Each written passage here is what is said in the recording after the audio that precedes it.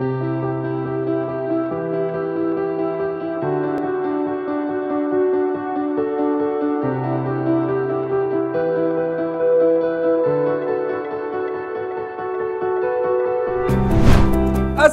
warahmatullahi wabarakatuh. Seneng Pol.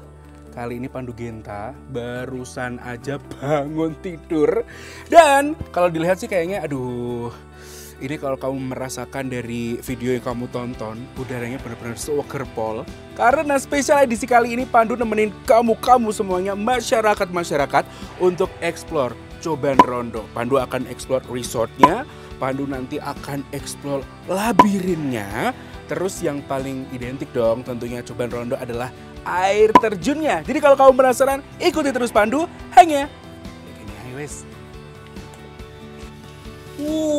Uh, udara segar, pemandangan alam yang super eksotis, ditambah kicauan burung. Jadi salah satu wishlist kalau misalnya nih masyarakat-masyarakat pengen staycation yang nuansa dan suasananya tenang, jauh dari kebisingan kota.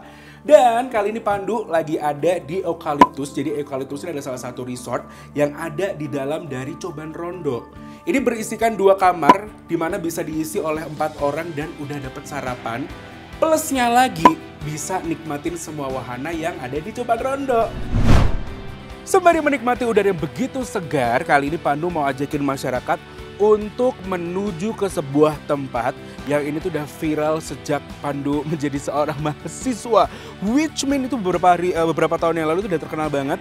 Jadi Pandu mau ajakin kamu, kamu, kon-kon KB untuk ke labirin yang ada di Coban Rondo. Ikuti terus.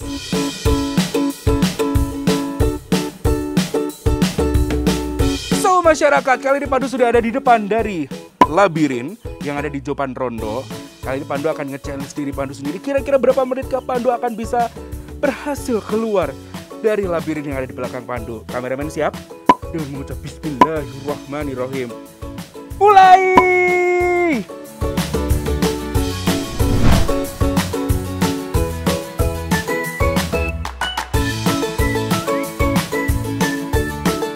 Apa Rono yo guys? Jadi apa masyarakat? Kira-kira Rono apa Reno? Reno wes. Loh, guys, keluar buntu. Ayo melayu. Loh, guys, ini balik di mau mana gak sih guys? Balik mana? Bah!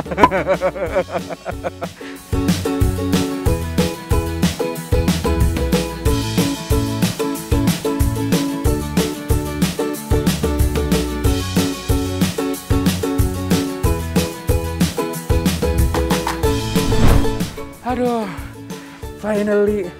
Pandu sudah berhasil dan Pandu berhasil menyelesaikan 5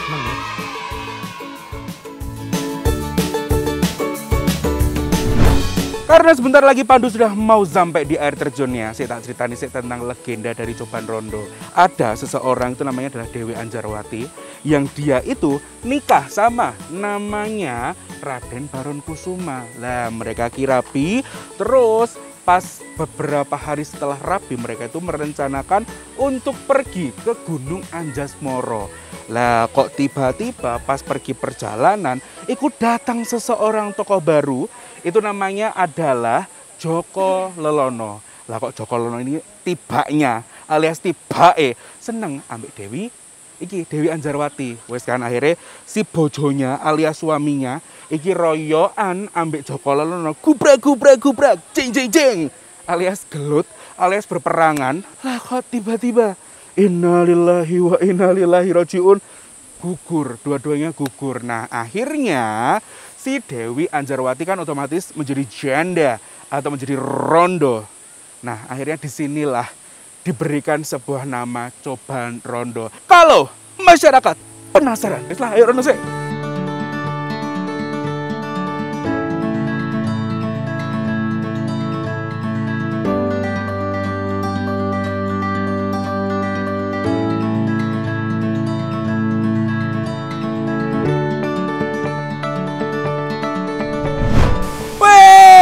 Finally masyarakat Pandu sudah ada di bawah dari air terjun Coban Rondo. Jadi kalau ngomongin soal ketinggian dari air terjun Loban Rondo ini tingginya adalah 84 meter dan dengan jarak 10 sampai 15 itu percikan airnya itu benar-benar kerasa banget gitu loh. Pandu mulai basah, apalagi kalau misalnya lagi musim hujan. Oh, itu debit dari airnya yang dari atas ke bawah itu bisa lebih deras. Pandu mau menikmati segarnya air terjun Coban Rondo.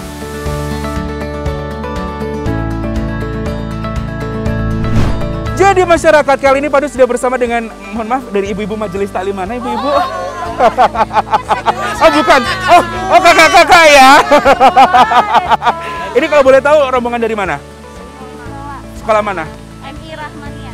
MI Ra oh Is- Islamic School Yes. Rahmania. Iya. Itu di mana? Di Tangerang. Oh wow, so far away from Serpong to Malang untuk ngunjungin yang namanya Coban Rondo. Betul. Coba sebutin satu kata yang menggambarkan Coban Rondo harus bersama-sama. Satu, dua, tiga. Amazing. Oh my god, kita masih belum briefing mereka. Tapi guys, uh, Pandu punya pertanyaan. Nanti terserah teman-teman mau ngejawab ini mitos atau fakta. Ini ada cerita kalau katanya orang yang pacaran terus datang ke Coban Rondo itu katanya gosipnya mereka itu akan putus setelah pulang dari sini. Kalau menurut kamu dulu deh, mitos atau fakta? Mitos. Mitos. Berikutnya, Mitos.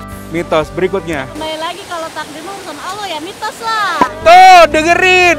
Jadi jangan sembarang, jangan sembarang percaya ya. Betul betul. Bener bener bener. Mesti kalau bapak teacher gimana? Heeh. mitos lah Mitos ya, betul. Karena kita nggak tahu ya yang namanya umur, yang namanya jodoh itu semua di tangan Tuhan, di tangan Allah. Betul jamaah? Jamaah. Yaudahlah kalau gitu, happy holiday. Wih, setelah puas jalan-jalan di Coban Rondo, di mana sudah mulai agak basah ya, Pandu akan segera mengisi perutku yang mulai mengosong ini dengan cemilan-cemilan yang ada di sekitar dari Coban Rondo. Jadi kalau di sebelah sana itu ada bakso, terus ada juga jagung serut, ada juga jasuke, terus ada berbagai gorengan. Di mana aku tuh baru tahu loh, brokoli goreng itu tak temukan pertama tuh yang di Coban Rondo pas zaman aku SMA. Wes ikuti Pandu terus. Pandu mau jajan brokoli goreng. Mbak, aku pengen gorengan. Brokoli goreng ya mbak yo. Ini harganya berapaan mbak? Ya kok murah banget sih mbak. Udah harganya. Surah udah mbak sepuluh siji. Ya Allah, masih biar masih masih sekali lagi dia masih. Belum apa ya kameramen belum apa?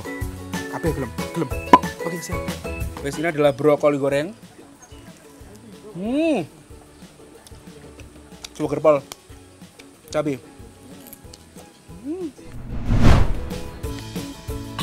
Selesai sudah liburan padu di Coban Rondo. Jadi sekali lagi buat masyarakat, wes motor lewat ke apa wes.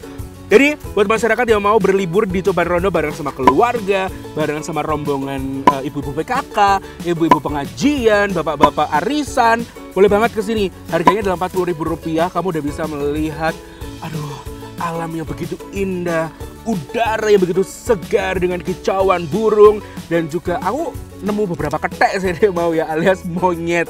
Jadi kalau misalnya masyarakat mau ke sini, kalau misalnya dari Malang itu tadi sekitar berapa jam ya? Satu jam. Satu jam lah agak macet. Terus tak doakan kalau misalnya kamu ke sini gak udan ya. Ya wes lah, kalau begitu jangan lupa untuk selalu like, comment, dan juga subscribe channel YouTube kita Jangan lupa beli gorengan juga. Yang penting adalah sehat dan selalu bersyukur. Kalau begitu Pandu Genta harus pamit. Assalamualaikum warahmatullahi wabarakatuh. Let's go!